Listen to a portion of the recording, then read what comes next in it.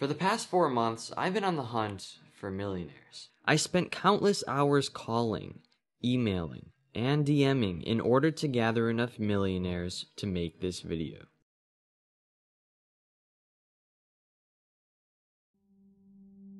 Something starting my business so young that took me a long time to learn is you really need to find the right people to join you in the endeavor because you're not going to be great at everything. So kind of just knowing what you're going to be great at and knowing what you need to find in other people, whether it be partners or employees to fill in areas where you're weak, that will ultimately make you unstoppable. Read, read, read. You know, um, Warren Buffett used to read five, he still reads 500 pages a day and that's non-negotiable.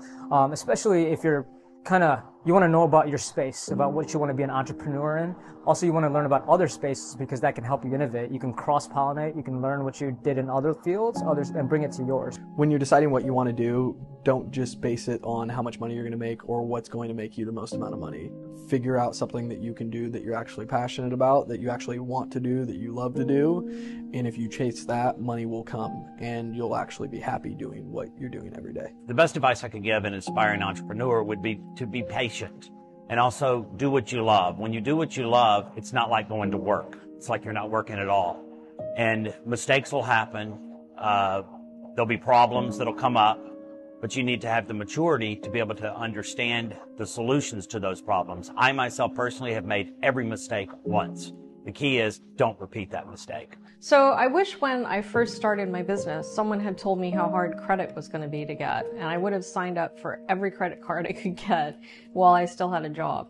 Um, it's very difficult to get credit from institutions once you start because they see you as too high risk. Your biggest asset is your fearlessness, is your willingness to be naive and just go for it being believing that you are invincible and you cannot lose. That is such a huge asset that later on in life, as life has gotten to you, as you have more experiences and you have more painful moments in your life, you'll lose that. And right now, it is such a huge asset to be fearless and to just go for it and to not worry about what anybody else thinks.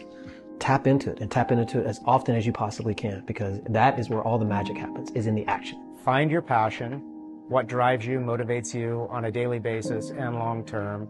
And the second part of that would be hard work and commitment.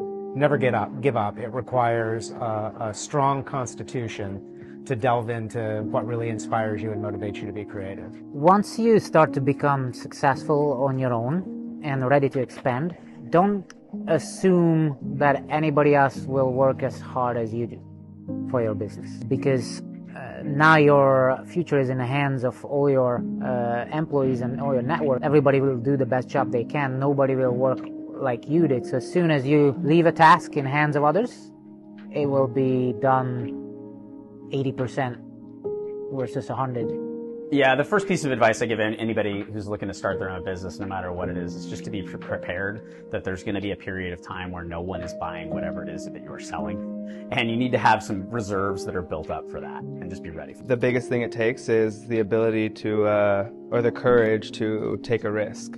Uh, most of the time, the life of an entrepreneur, the reason why you're going down that route is because big risk, big reward. So, um, you know, you take that risk and, um, you know, don't be afraid of what you do and just go after it. And, you know, I think that'll get you where you want to be at as long as you don't give up. Find a mentor.